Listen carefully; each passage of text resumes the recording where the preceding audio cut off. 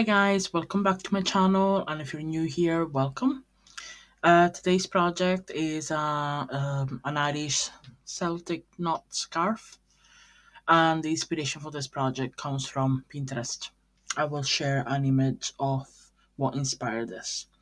The techniques, techniques that we will use will be um, mattress stitch to join the tubes and then a single crochet stitch to finish it off. So let's start. Okay, so in order to cast on, grab your waste yarn, loop it around the needle that has a different color from the rest.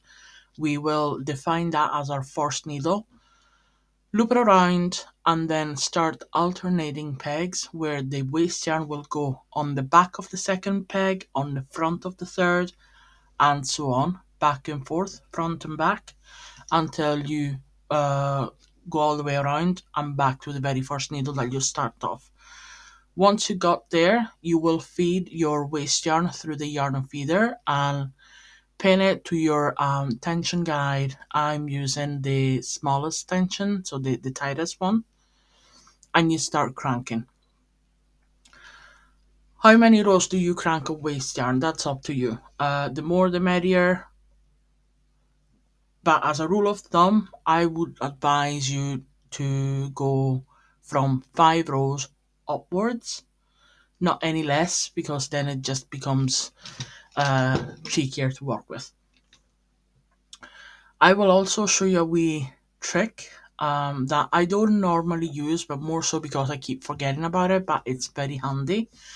And that is to, once I crank the waste yarn, I will add um, one row of a third color yarn, like almost like a, a lifeline yarn. Uh, you will see it in a second and that will uh, facilitate the taking off of the waste yarn uh, once we finish with the project. So keep cranking. I don't even know how many rows I cranked here because I already have my own separate balls dedicated for waste yarn, so I tend to just use the ball. Um, and these balls, I just collect them because maybe they're scrap from other projects and maybe that is just what was left from the ball of yarn that I used. So I have a nice handy wee basket where I take and keep them all. So this is me finishing my uh, waste yarn and I'm now adding a different color that is not my working yarn yet. I will be adding this pink thread, the pink yarn, for one row. And you will see later on why I'm doing this, but basically once you're finished everything, if you pull on this pink yarn, the waste yarn will come off in one piece without having to unravel it. Just make sure that you do one row, but you finish um, on the last peg that doesn't have so that doesn't have the pink yarn coming out of it. So I started on the black peg and finishing on the white. So it's like leaving the circle open. And now I am starting the actual uh, work with my working yarn. So I'm using a DK yarn. Um, I got it out of Home Bargains in the UK, so nothing special uh, but it works pretty well. Again, tight tension. And here I'm just demonstrating you the cast on and cast off, but at this point you will need to crank 300 rows. Once you're finished with the 300 rows, then you will need to add the bright pink if you want if you wanted to use this tip that I'm showing you, you need to you need to add the bright pink yarn and then the waste yarn. Otherwise, you can go directly in with the waste yarn. It's your choice. But if you can remember to do this trick, it just makes things easier. I just keep forgetting normally, so I just took the chance now that I'm showing you guys how to do this thing to actually show you this trip.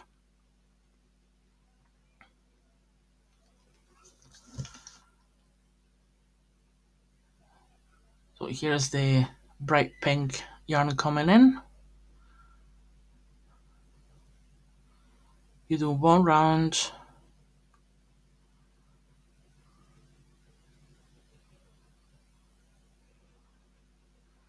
Okay, now here I got a little bit um, messed up because I didn't want to cut my working yarn just because this was a sample, but then I end up tangling myself with it, so eventually I did cut it off.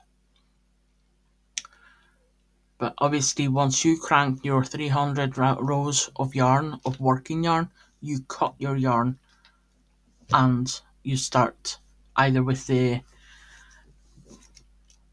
uh, I don't even know how you want to call this thread here, this this technique, but either you add this one row of different color yarn that it will be a, a pull off for the waste yarn, or you go in directly with the waste yarn.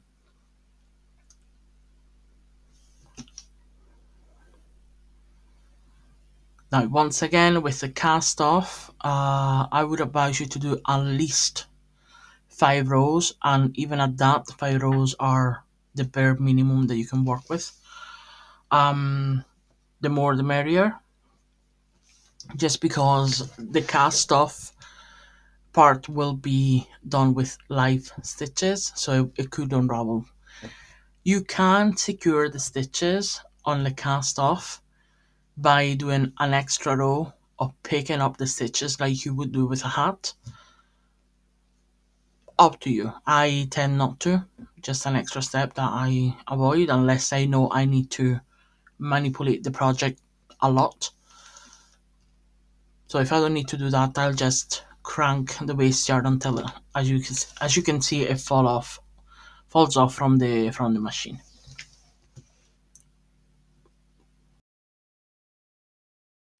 Okay, so this is my sample. In your case, you would have waste yarn, 300 rows of main project, and then again waste yarn as a cast on, cast off. Um, if you followed uh, th- this tip here, then I'll show you, you will see now um, the benefits of it. First of all, once you have your um, tube finished, tug it, pull it, stretch it a little bit, and then leave it um, just a couple of seconds so that the yarn relaxes back to the actual um, right shape. And this is the moment where you need to make sure that your tube is straight. Obviously, whenever you have a very small sample like this, it's easy whenever you have a longer tube, not so much.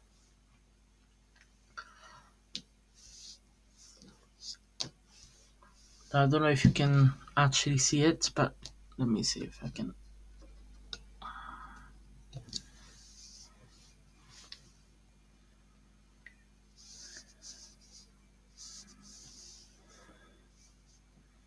okay. So you see here, this row, for this is just an example, where my index finger is, I'm following it. So from here that I was below the edge, if I follow it, I will end up on the edge. This is telling me that this um, tube is twisted so that will be a little bit of a challenge once we get to uh, sew this together with the rest of the project. My advice when you are um, working with long tubes is that once you finish them, once it's off the machine, I would wait before closing the ends. So in in order to manipulate the tube and make sure that if you're um, stitching this together to other tubes, you're sure that you're following a straight line and then you can close it flat, no bother. But the fact that I close mine flat first, this will end up doing something like so. So I will bubble up a little bit on the edge. Um, so yeah, do what I say, don't do what I do kind of scenario. But I'm a, a very impatient crafter, so I like to get all the bits and pieces done before I do the main part. But um, yeah, out of experience, note to myself, when you work with long tubes and many that you need to then um, add together, probably the best option would be to not close the ends right away, but do that at the very last. Since I have my work done already, I will not be able to show you um, on the actual project, but I will show you here how to close flat the, the tube so you can refer back to it. And then I'll show you what this what this does so obviously you need to find the middle. And you need to find it in a way that doesn't twist the, the tube. Most of the times I count my stitches. So in this case it's 1 2 3 4 5 6 7 8 9 10 11 meaning that 11 and 12 need to be stitched together. And in order to do that you grab the loops. This is the moment that you will need the crochet hook. You grab the loops both of them onto the crochet hook. And you start feeding one loop inside the other. Then you're remain you're remaining with one loop you grab the next stitch above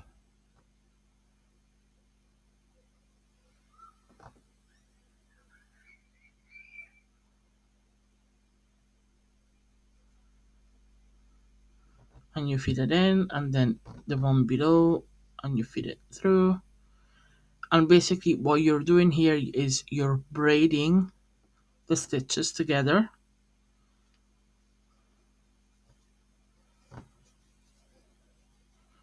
So that you can close your tube flat. Always start from the side that does not have the tail because this will help you to um, secure the closure.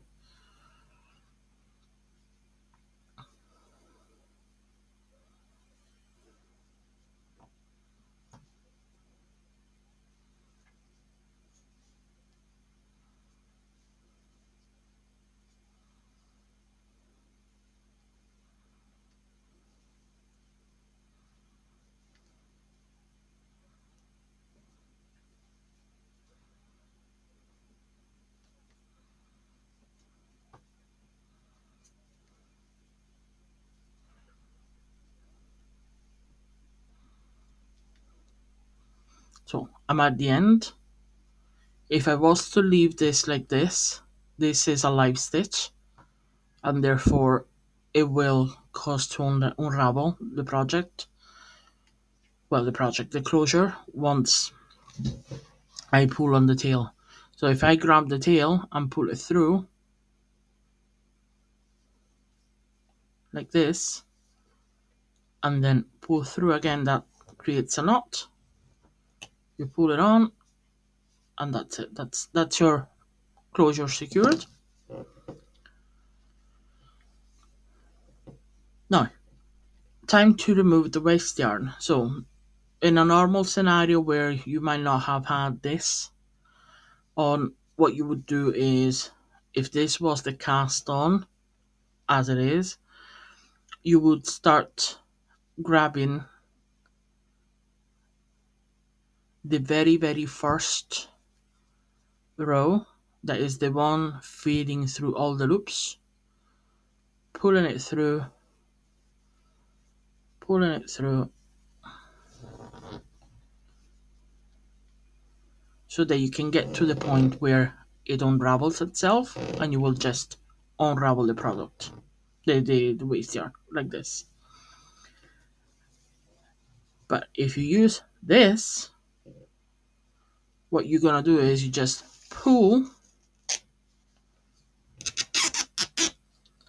You need to pull hard, but feel the project. So you don't want to snap anything in the process. So we pull this off and ta-da! That's your waste yarn off. And then you can deal with this later. So same applies here. This is a cast off edge. I'm gonna do exactly the same. So I'm gonna count my stitches and obviously you know I mean the um, contrasting colors will allow you to see where you are and as long as you follow the color of your working yarn you're good. So you shouldn't be uh, getting confused as long as they are contrasting enough. So count your stitches 1 2 3 4 5 6 7 8 9 10 11 meaning that 11 and 12 are going together both on the crochet hook one inside another. Now you can go back and grab the front one. You can go down and grab the next one. It's it six is half a dozen. Doesn't matter. As long as you alternate. Once you have the first two connected, start alternating. So if you go first on the top, then you grab the one at the bottom after that, and so on.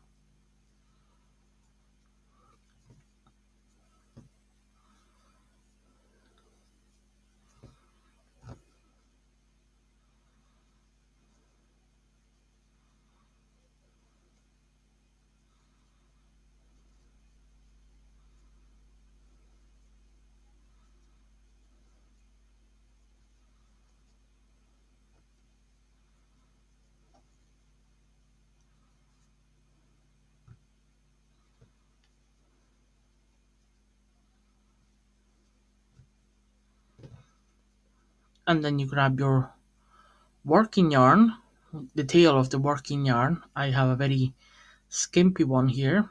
Should be enough. And you pull this through in a loop and then you pull it through again and that creates a knot. Grab the end of the tail, put your thumb and index finger on the knot, press together and pull. So while you're pulling, you're pushing down the knot and that tightens it everything. Once again, and just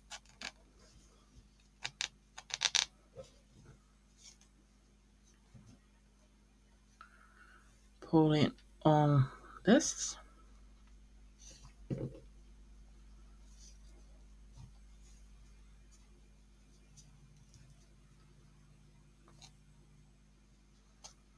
Now if you get stuck, because it can happen, at the end of the day it's it's yarn, it can, the, the fabric can still tangle together or maybe you have split the yarn like I think I did here so you can help yourself like this and then start pulling again. And there you have it.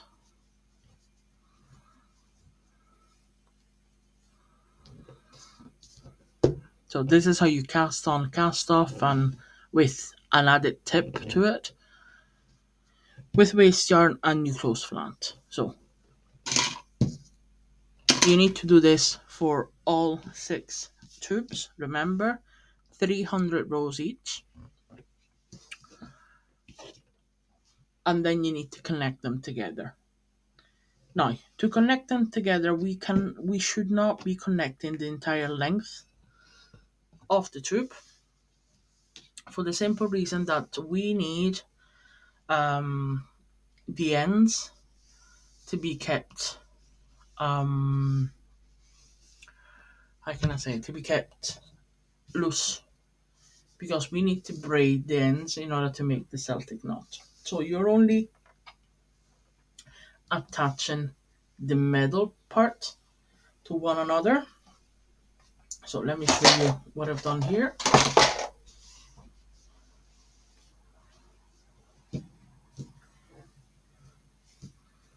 So these are the tubes connected, but not all the way. And the way I measure this, I literally eyeballed it, as I normally do. So what I did was I just fold in half the tube,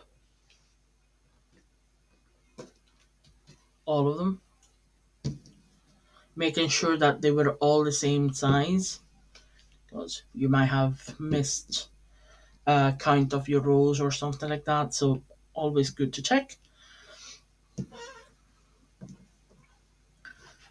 So folded in half, made sure that everything was the same length, and then I marked the other half. So basically, it's a it's a quarter. Because if I, I fold this once in half, if I fold it in half again, that is where the connection stop stops. so in one side and the other. So I hope it makes sense. So you have the first quarter left uh, free. Then you have two quarters in the center connected together. And then the last quarter on the other side left free. So what we need to do now is join the, um, the last tube I have together with the mattress stitch. With the mattress stitch, we need to make sure that we are following the same direction of stitches on both tubes. So if I want to follow this, I need to um, I need to make sure that on this side the stitches are in the same direction. So I hope you can see it. So again, we need to grab the stitches that are going in the same direction.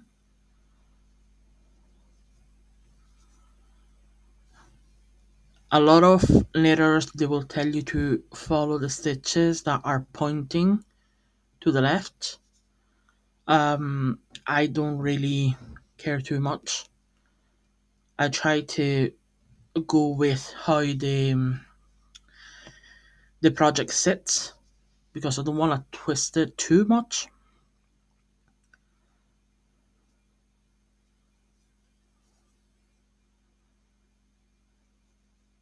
So I think we have it. But in any case, the important thing is that you get the ones that are following the same direction. So let's start. Mattress stitch.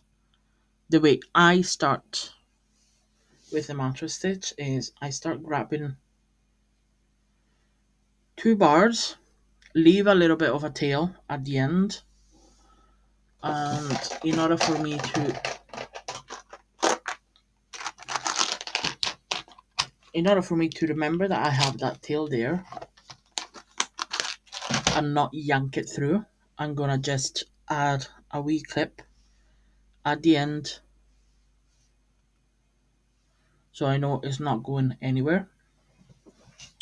Because what you will do eventually is you will pull on the yarn and this will be pulled through. So you don't want that I mean you can even start with like a knot and secure it with a knot. I like to do that later. So you grab your two bars on one side, then you go on the other side and grab another two bars.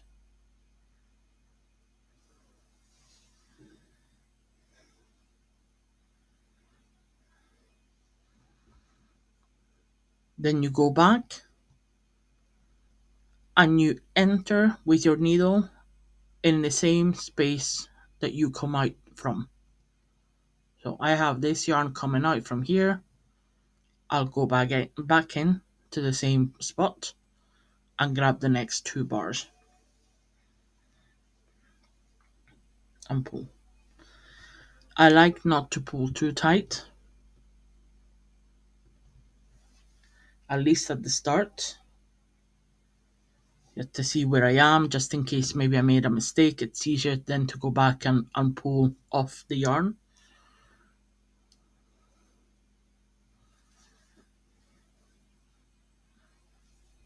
Just take your time.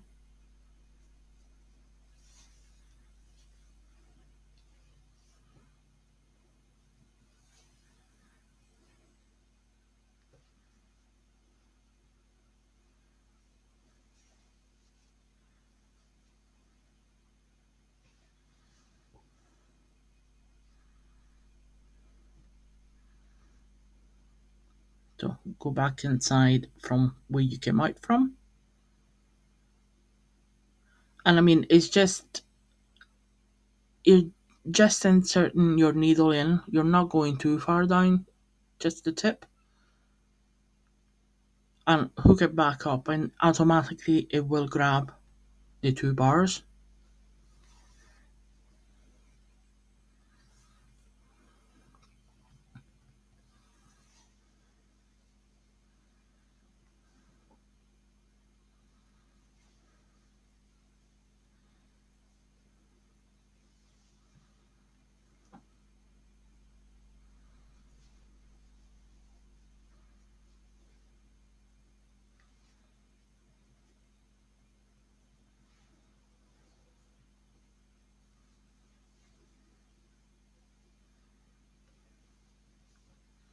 Now, I am in the process of um, making a mini series of like back to basics where I will introduce the machines and, and show the basic techniques of um, cast on, cast off, the sewing stitches, how we can connect the projects together, and a little bit of an insight of flat panels. So I will eventually refer back to those videos for a better understanding, just in case uh, there is somebody completely new to the craft that would like to actually have a little bit more of a dedicated um, tutorial on how to do the stitching together or the how to's basically. So if you're interested, stay tuned. But also, if you're interested in seeing anything else, or if you have any suggestions of videos that you would like to to see, just drop a comment below.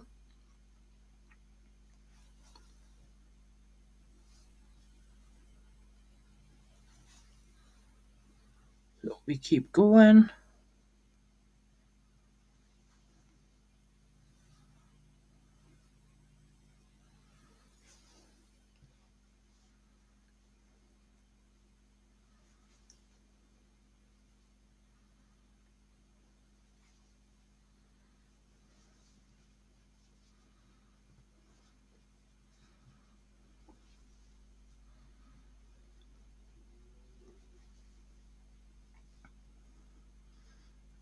Another reason why I like to keep um, the stitching very loose is also because it makes it easier for me sorry makes it easier for me to actually uh, see on what row I am on what line I am.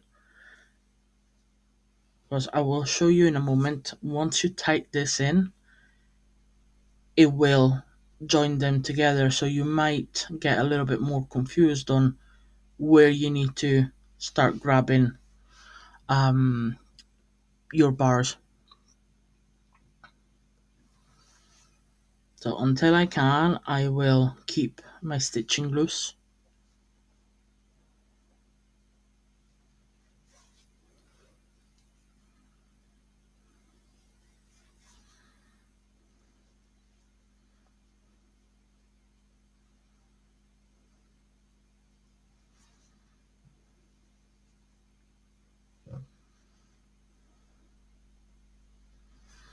Now you don't necessarily have to even cut the yarn.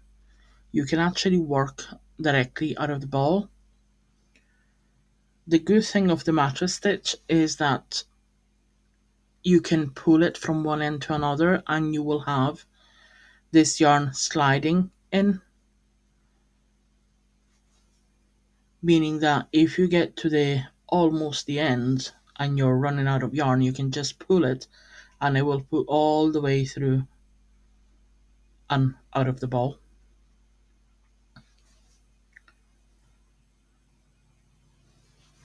But as a rule of thumb, usually it's enough to calculate to, to gauge one and a half to two in length of the stitching yarn that you need based on the length of the product that you need to sew together.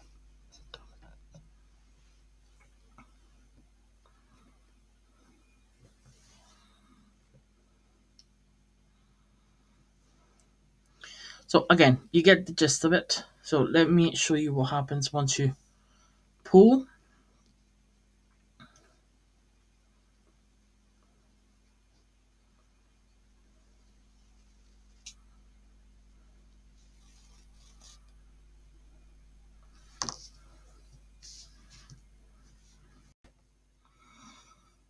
Okay, so once you're finished uh, sewing the um, the tubes together, you secure your ends.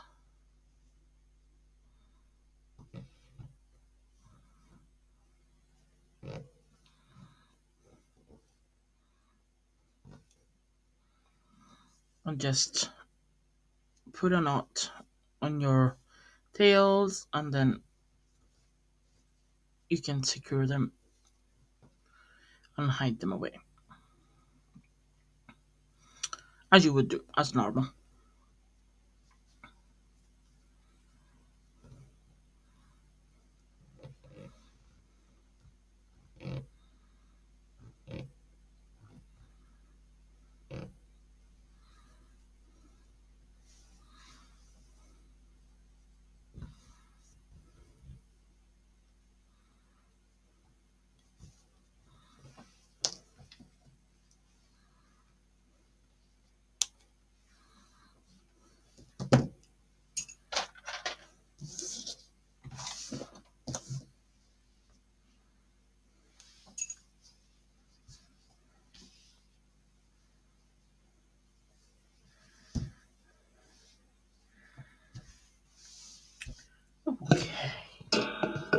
Now comes the fun part. So now we need to knot these together. Just so when I can be in frame.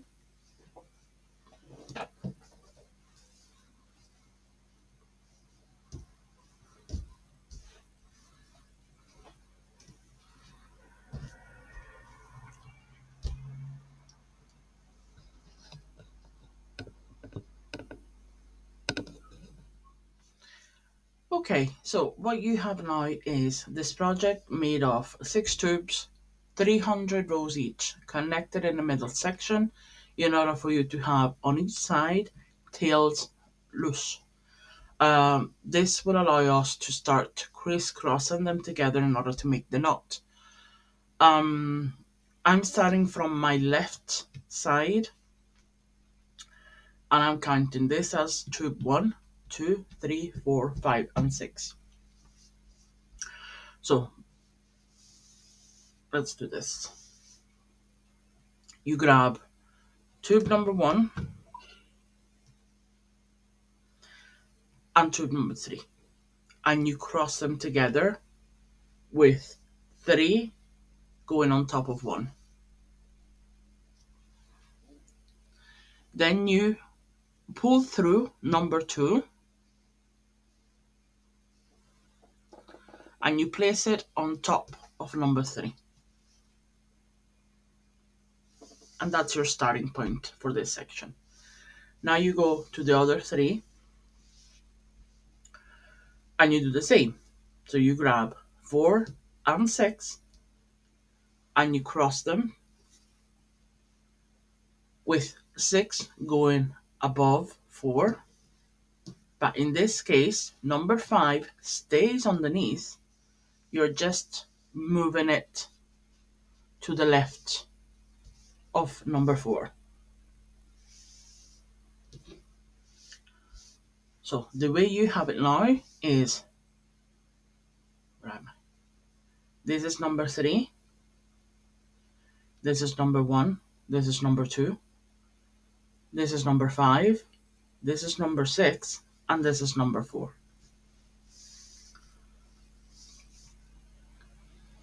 Now you grab number five and number two.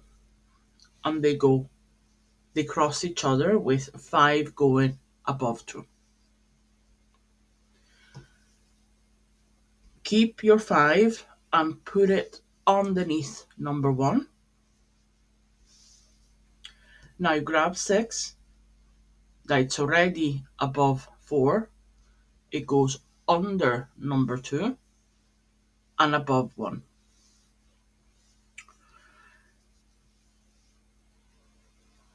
Then you grab number 4 it it twists it, it goes on a on a curve so it goes a little bit back in order to go above number two and then below number one. And this wee section is done. So I start putting stitch markers so it doesn't go anywhere on this other side, you do the same. So you get number three, it goes on a curve under number four.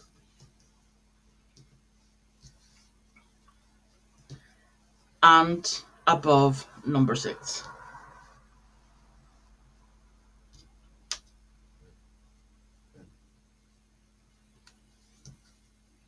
And that's you. So you can uh, secure the ends to one another so they don't go anywhere.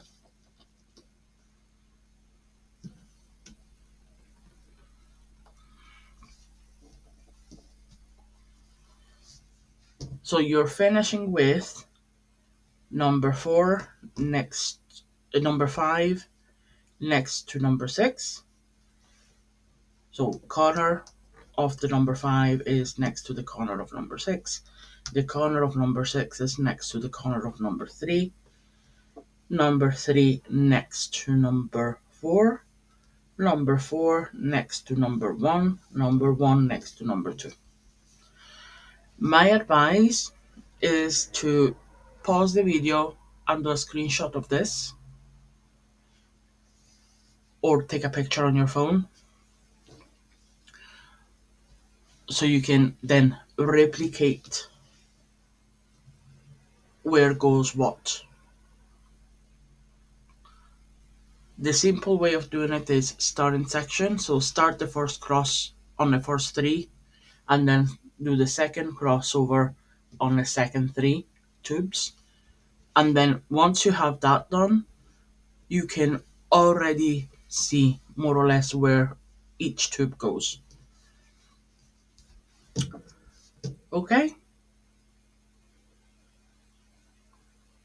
So this is a time for you to take a picture.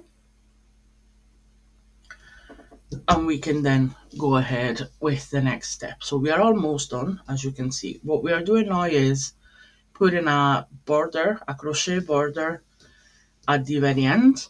And that will allow us to connect all the tubes together, remove the stitch markers, and then we can finish it everything up.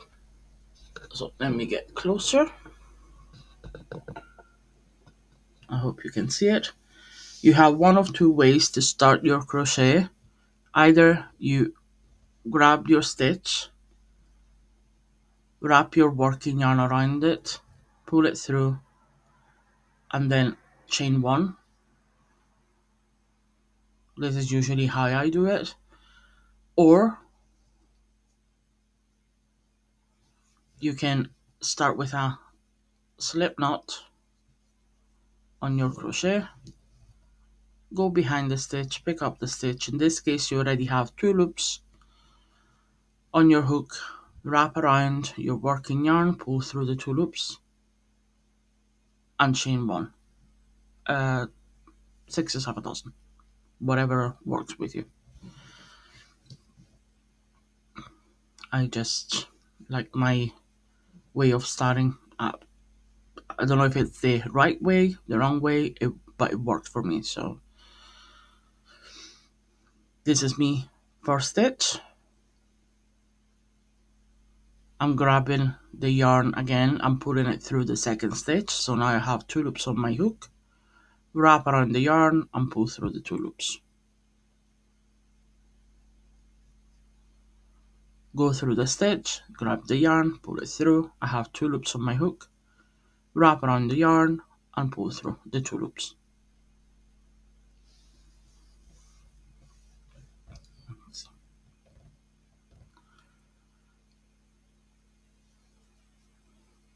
So go through a stitch.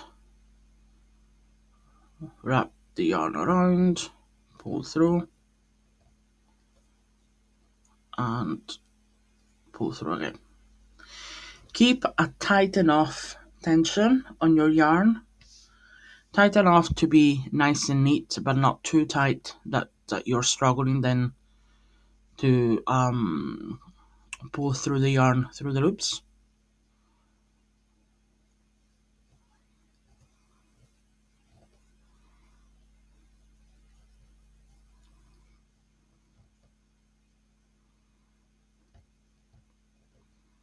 So again, you have one loop on your hook, go through the stitch, grab the working yarn, pull it through, two loops on your hook, grab the working yarn and pull through the two loops. Nothing fancy.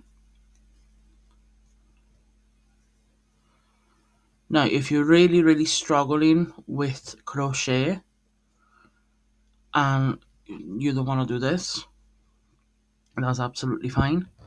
What you can do instead is just um, connect the ends, the corners of the, the two tubes together. But I would advise you to try and make the border just to have a little bit of a finishing look to it. So now we are at the point where we are joining together the two tubes. So what you're gonna do is just you're left with one loop around your crochet hook just grab the next stitch the first stitch on your new tube pull the yarn across. Now you have two loops on your hook one coming from the first tube the second coming from the second tube. Wrap around the yarn and pull through the two loops and that's your connection done. And then you keep going and it's like that all the way across. Okay, so I'm at the end, and the way I finish and I finish off is I'm left with this uh, loop on my hook. I grab one last time my working yarn, pull it through, cut the working yarn, and pull through the loop that will create a small knot to secure the project.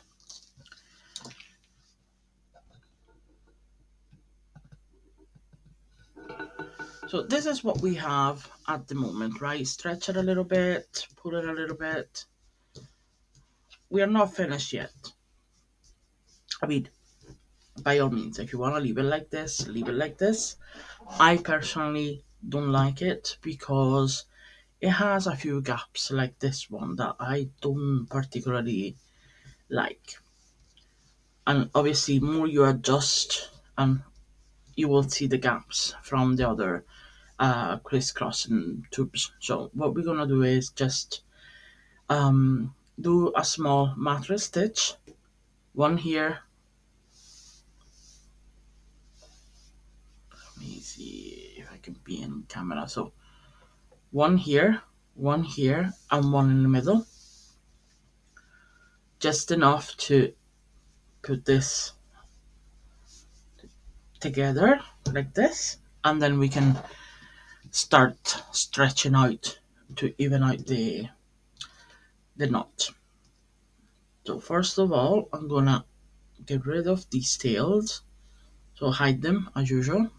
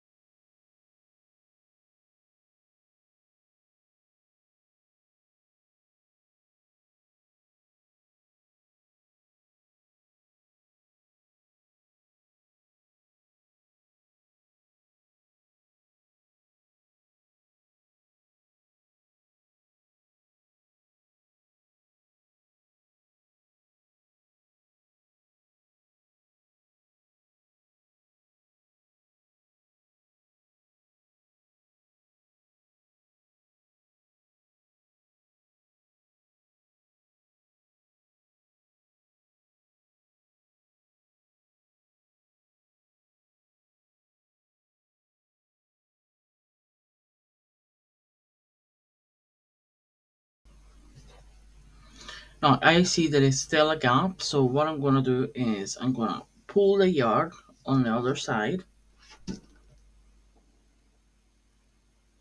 feed it across uh, with my uh, yarn needle and grab a couple of more stitches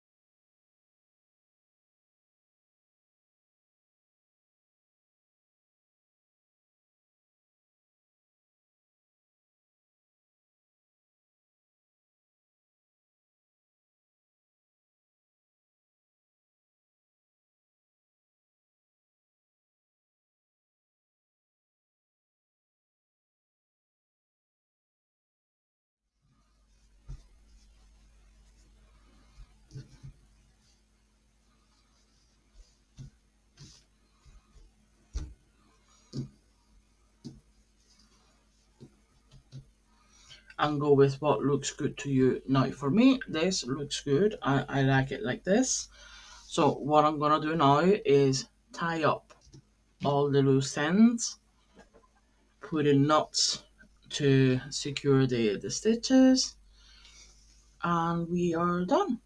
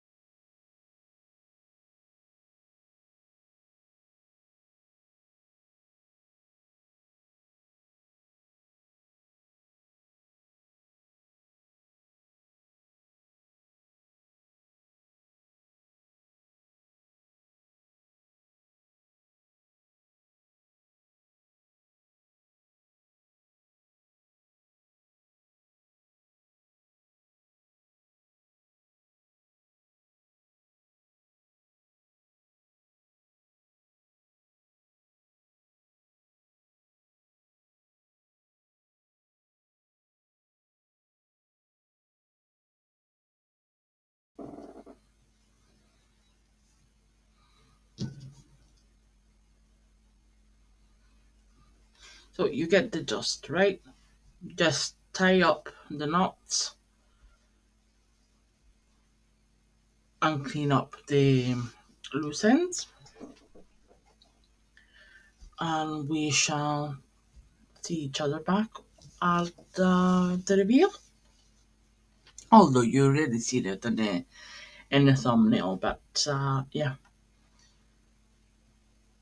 Be right back. I really hope you like this project um, and thank you for staying with me all along. Um, can I just ask you if you have liked the video to click the like button and if you haven't already to subscribe to my channel. I would very much appreciate that.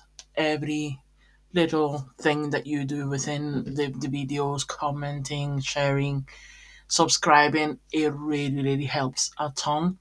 And for those of you that have already done that, thank you massively. Thank you.